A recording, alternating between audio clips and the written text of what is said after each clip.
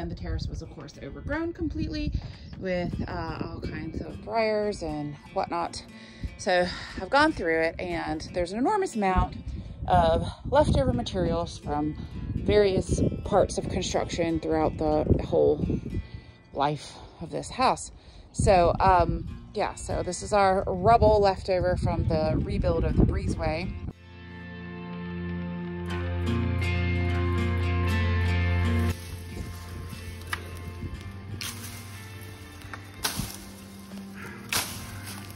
Gonna be sore. Jen, is this the garden you would hope for?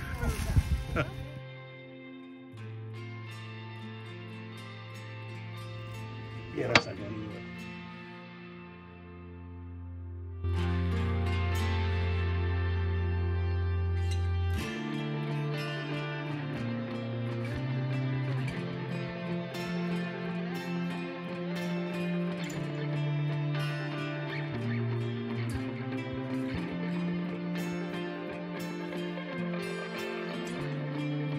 Hey there. So I'm on the terrace.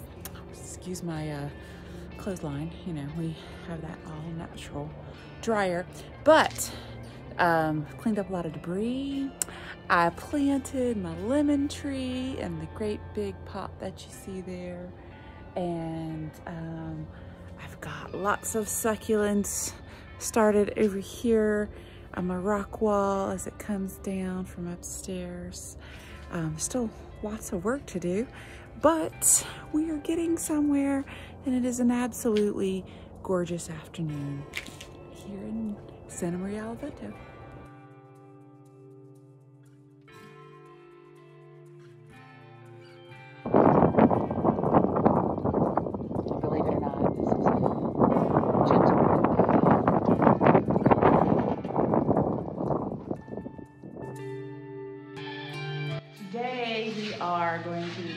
be plastering our room. Amy's getting some tools out, but you can see all the fun things that we have to do. The ceiling, covering up from all the wonderful left at the end of our workday today. And um, it looks good there. With the ceiling, you can see this area has not been done, but this area has a coat of plaster on it.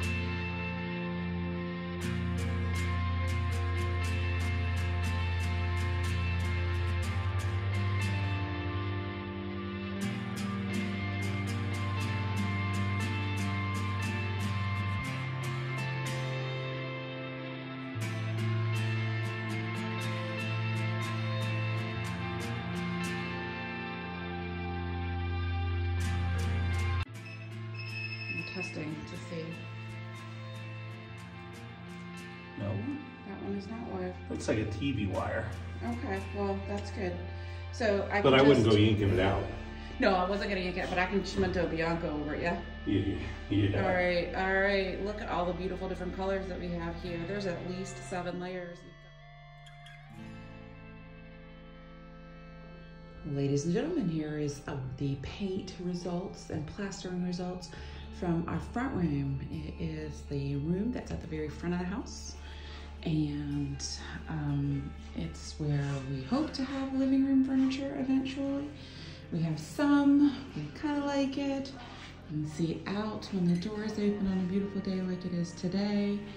We have um, kept a couple of pieces of art and I repainted a piece of art. And um, please excuse what we refer to as the cave. It still has some construction materials in it. We hope to build a wine rack back there and put some beautiful drapery. And that is our finished front room.